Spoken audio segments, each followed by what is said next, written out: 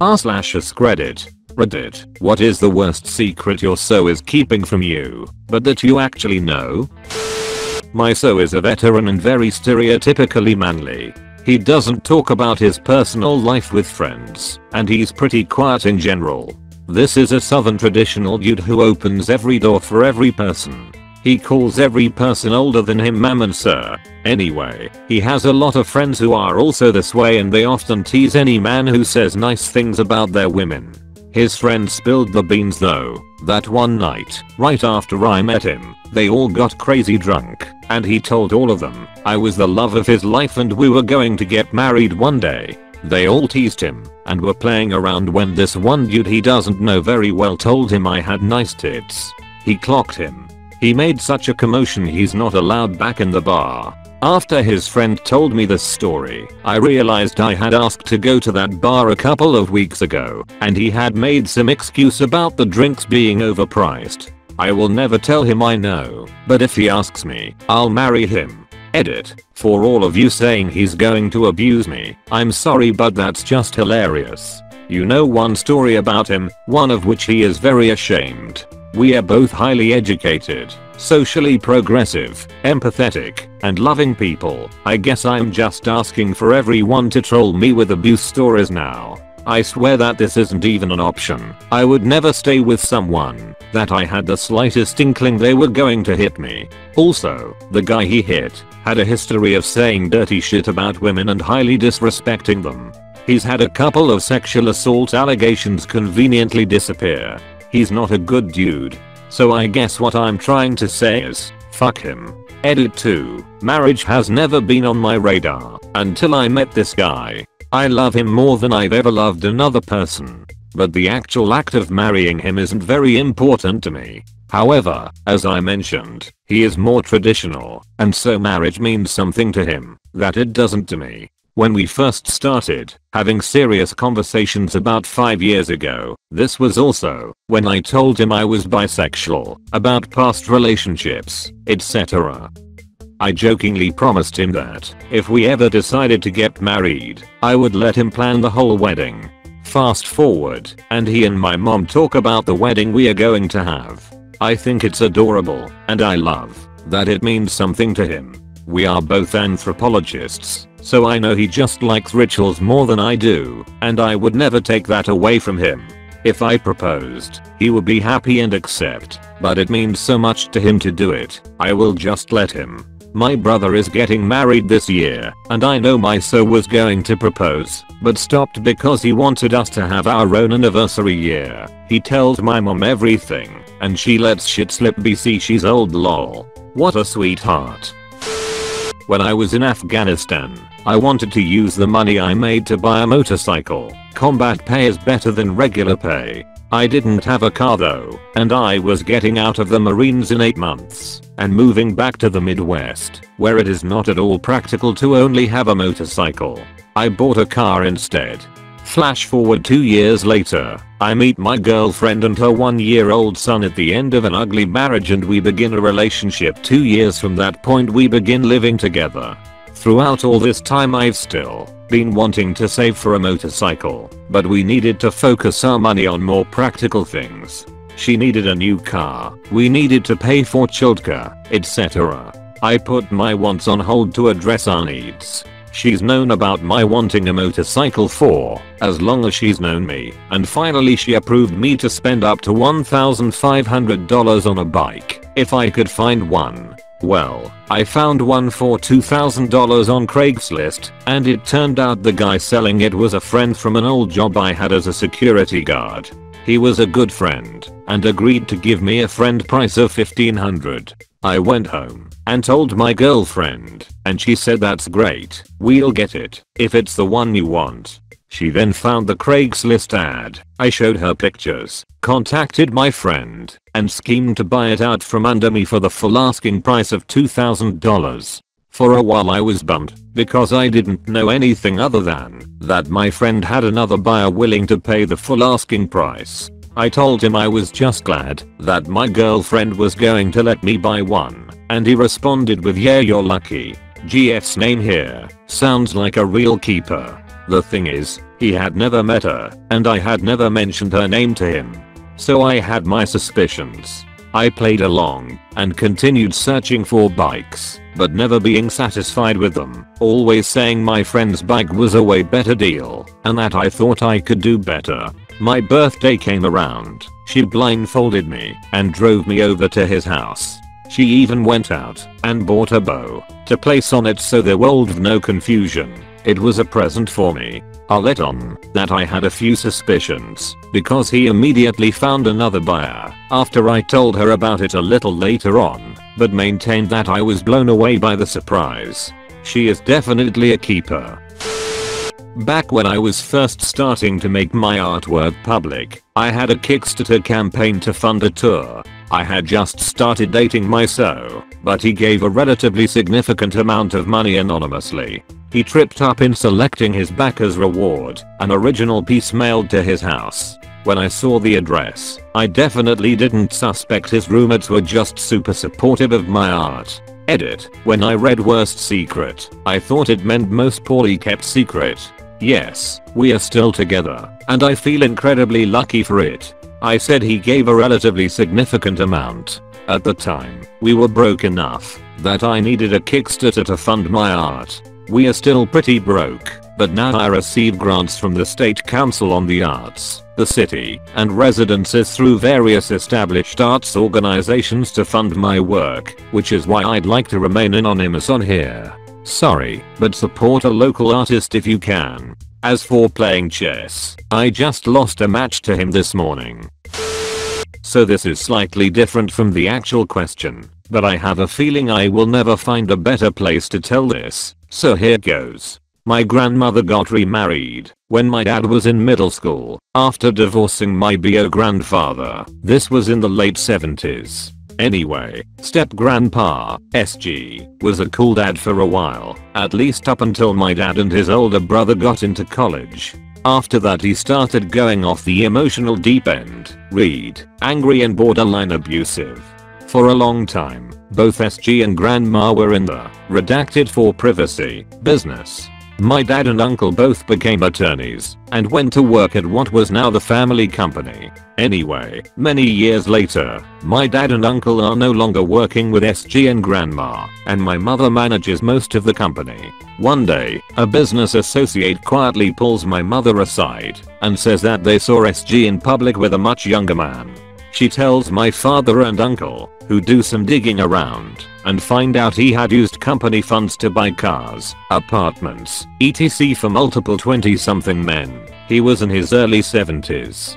They are understandably shocked, and they all go over to my grandma's house, when SG is not there, to break it to her. Her response? Oh yeah, I've known that for years.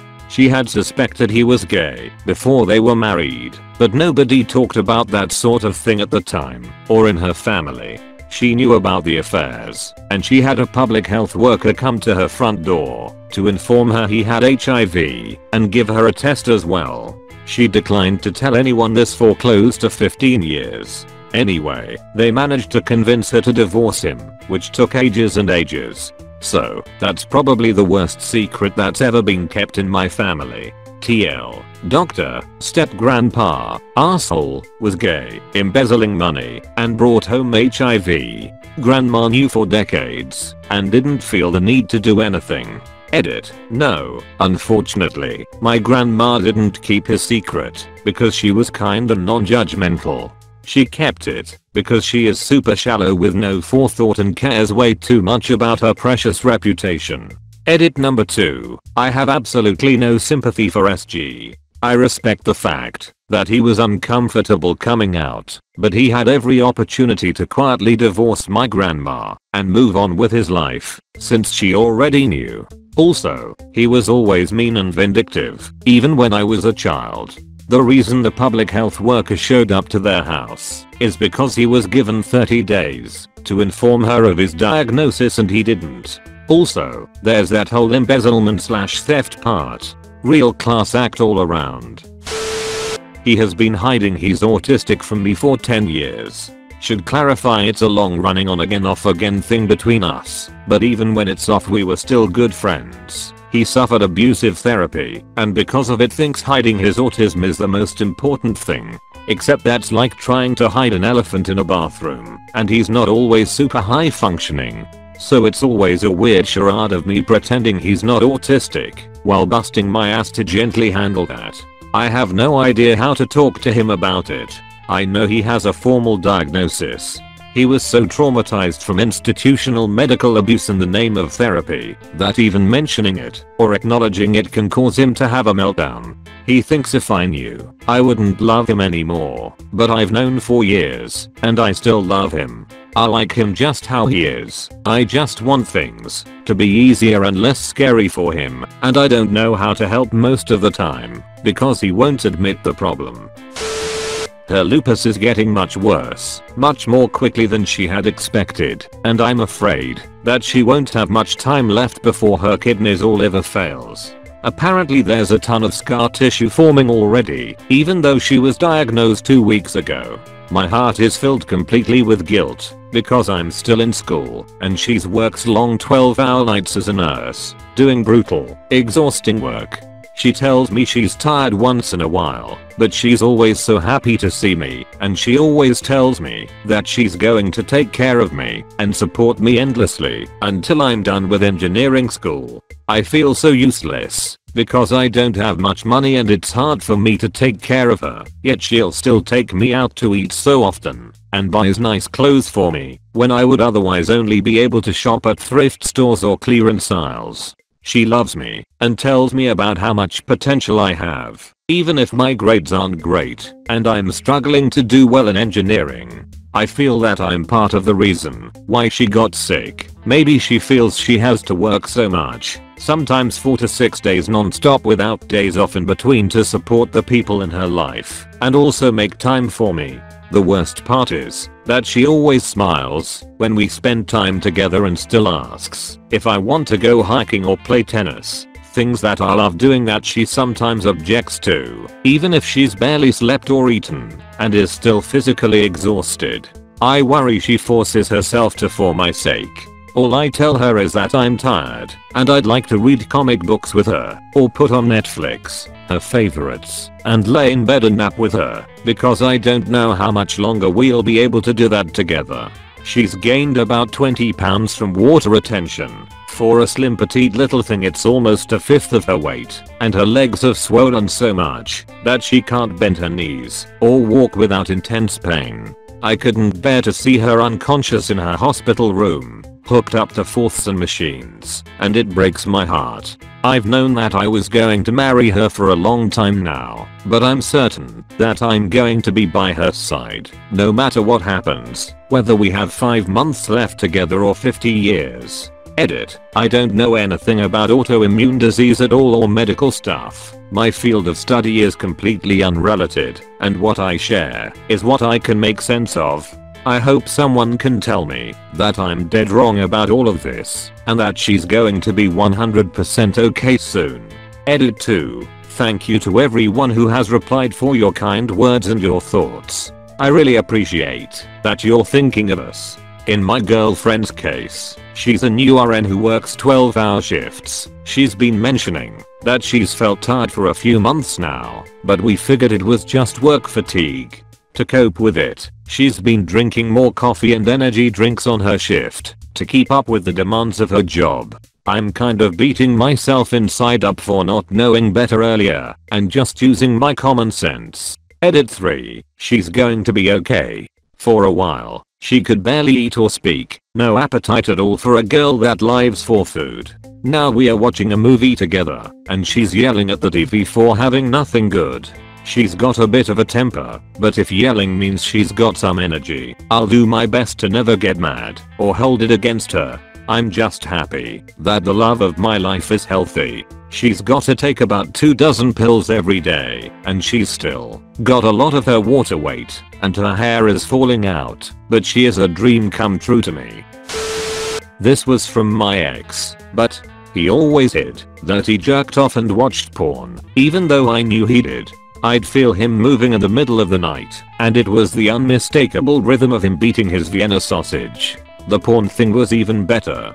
He'd turn down the volume on his phone, but the light would shine in my face as I was sleeping facing him. I'd invariably wake up and watch him looking at porn and getting off. The last time I caught him, I had gotten into my car to run errands, and he had his phone synced to my car. I turned it on and after a few seconds, I heard the unmistakable moaning and slapping of a relatively decent porno. His mother was in the car with me, and we both laughed like idiots. I sent him a text after about 5 solid minutes of listening and it said, save that video, it sounds really hot, and I want to watch it with you.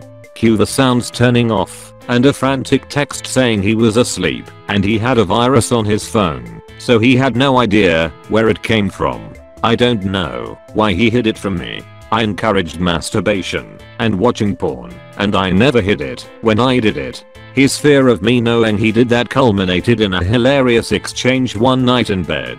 After sex one night I asked why he refused to masturbate in front of me. This was his exact response. I'm Catholic. It's better to spill my seed in the belly of a whore than to spill it on the ground. This was maybe 10 minutes after we fucked. Edit. RIP my inbox. But I'm loving every minute of it. Thank you.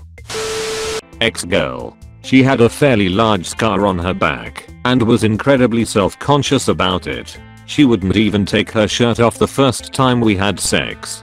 When I asked her about it, she said she had fallen from her horse when she was young.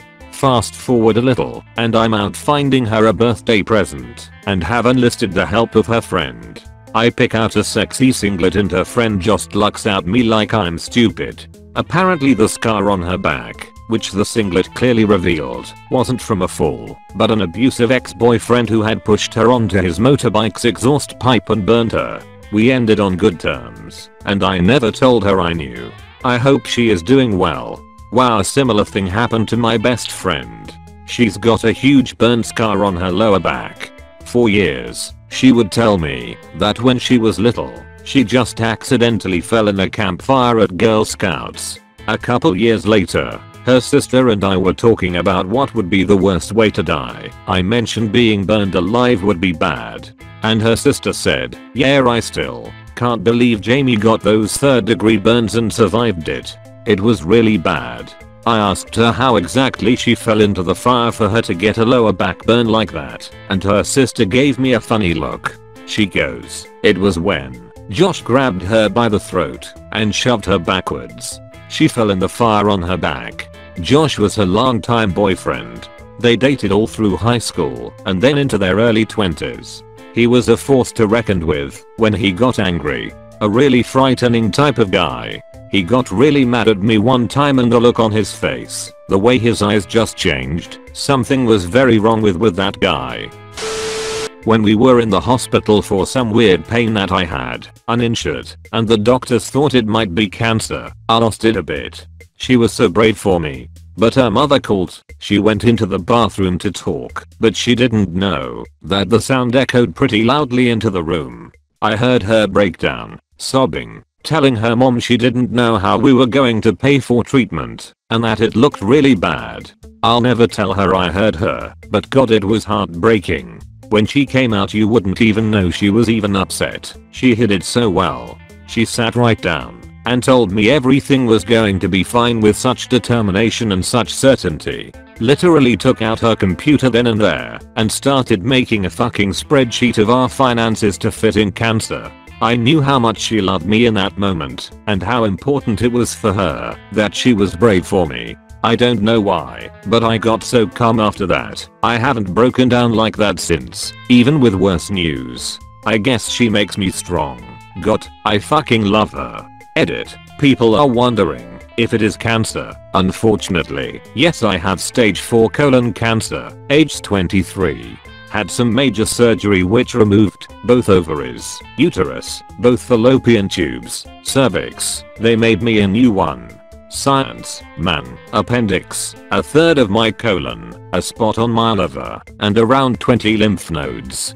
Got a port put in, and should be starting chemo next week. Unfortunately, there is no cure for colon cancer yet. My doc describes my situation as treatable, but not curable, but there are clinical trials and research being done. Plus I heard maintenance chemo isn't too bad. so I'm going to fight like hell. Also by now, you may have guessed I'm a woman. Edit 2. Hell yeah my girl and I are still together. We actually just celebrated our one year wedding anniversary. I, unfortunately, fucked up our anniversary plans. Got, I just had to go and get cancer, but we've celebrated in our own way and the docs said they can work my chemo around our honeymoon that we have planned in August. Edit 3. Okay this is a lot of edits, but I think this is important. Please do not ignore symptoms. You know the only symptoms I had for stage 4 colon cancer? 3 weeks of some bloating, and then 4 days, where I had some on and off sharp pain. That's it, and I already had 2 cysts on my ovaries the sizes of grapefruits. The doctor said that it probably started 6 months before that. That's 5 months of nothing, then some bloating and all of a sudden stage 4 cancer. I got surgery less than a month later, and my doc said my ovaries were the sizes of footballs. Each. I was hesitant about getting it checked out too because fuck medical bills. But my grandmother ignored her bloating, and when she finally let us take her to a doctor she found out on a Friday she had stage 4 ovarian cancer and the next Friday she was dead. I don't play around with my symptoms anymore. And guys out there, don't think this doesn't apply to you too. My brother had pain for a few days in his junk and my family ignored it. His girlfriend rushed him to the hospital and it was testicular cancer. He lost a ball. Don't be like us. Don't lose a ball. Your life is worth so much more than whatever medical bills come up. We thought for a while we would have to pay out of pocket, and we did for everything when we were still in NZ, but thanks to the ACA I'm covered now. That doesn't mean things aren't still expensive, or that we don't need a real overhaul of the way we treat health insurance in the US, but goddamn you are worth so much more than whatever you will owe. I know it's so fucked up, but if you learn anything from me, learn not to ignore your symptoms. Educate yourselves on your state's laws and programs sometimes under a certain age you get free healthcare. New York, and my insurance tried to lie to me about being covered because I'm married, and it's because I knew. Because my wife told me, obviously, that that's not true. I'm not thousands in debt right now. Love you all. Take care of yourselves, and thank you so much for the love. Everybody likes snacks, right? Some of us like chips, others like fruit or yogurt. Well, my wife likes croutons. Frozen croutons to be exact, and she tries to hide it like an alcoholic hides bottles of vodka. Where does she hide the croutons? In the freezer. At first I'd put them in the pantry when we get home from the grocery store, but they'd always end up in the freezer. I'd be like, oh, hon, what's up with the croutons in the freezer? And she'd act like she had no idea what I was talking about. Now here's the thing, I've tried them, and now I'm addicted to them too.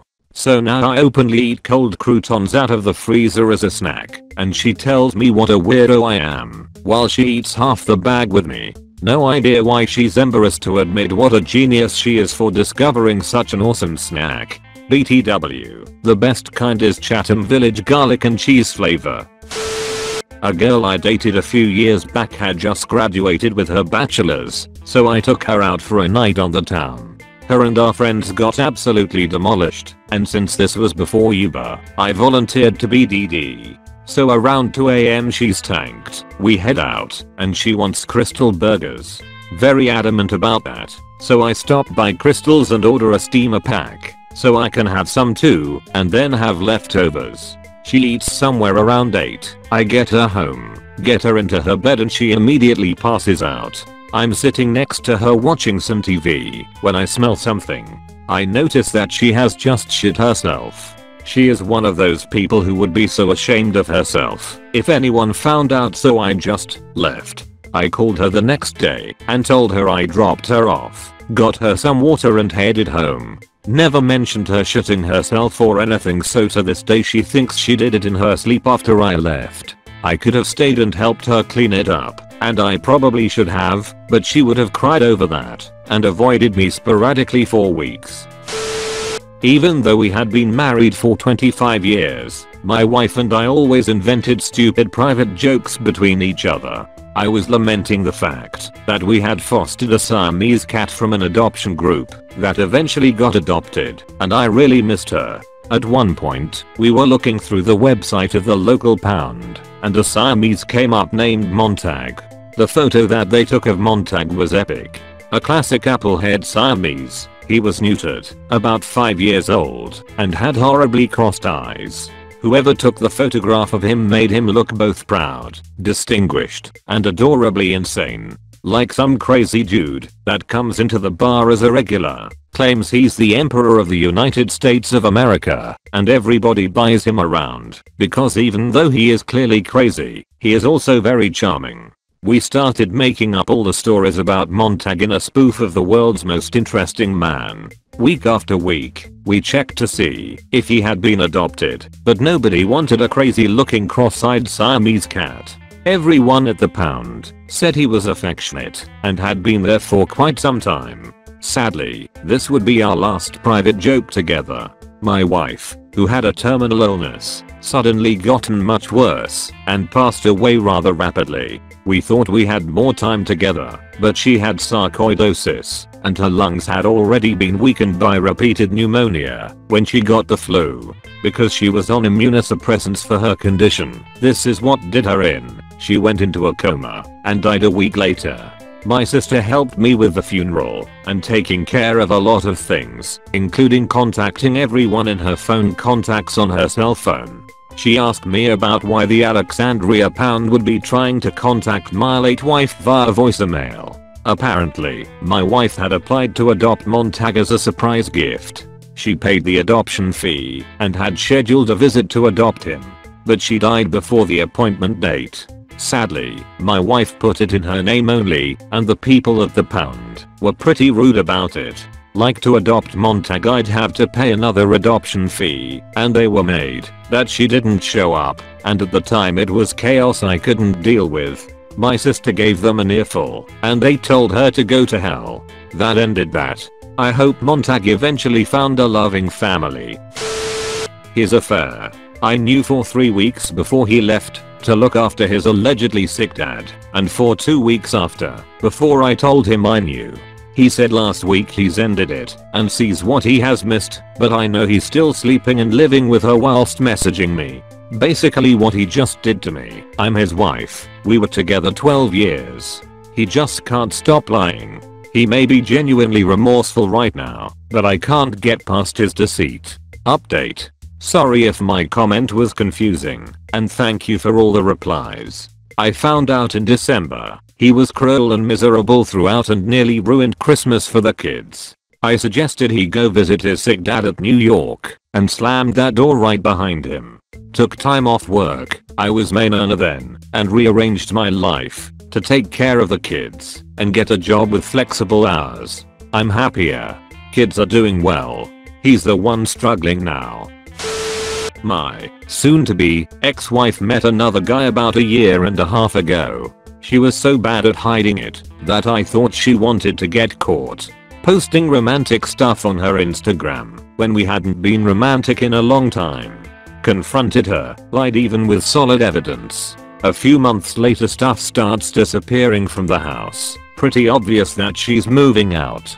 Then we started to have no money every month, and I have a pretty okay job. Realized she was stealing money basically by paying her bills twice a month with 3, 4x the minimum payment, and not paying mine. Let it go on for a bit and finally confronted her. She doesn't admit to it. I finally just pull my check from our joint account and she says she's leaving, but is going to be homeless. The next day she had changed her Facebook back to her maiden name and had a picture of her and the other guy at their new place. I don't know if this counts. Before my ex-wife and I had first split up, I had found out she was hiding a storage unit with an entire apartment set aside in it just in case the breakup went bad. She worked graveyard, and I was using her laptop while watching The Walking Dead to use the story sync. And because she uses all Apple products, her iMessage was tied to her MacBook. I don't normally read her messages, but considering the amount of notifications that were chiming in, I could tell she was having a rather lengthy conversation. I opened it and started reading, and it turns out she had sent a picture message of a fully packed storage unit to her best friend out in South Carolina. It had furniture, appliances, essentially everything she needed to start out with an apartment on her own.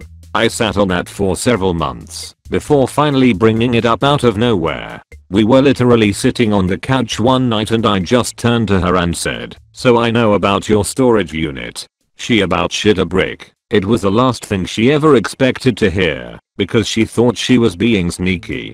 Conversation actually went quite well though, and we ended up deciding that we were going to file for divorce. That divorce just finalized March 3rd of this year.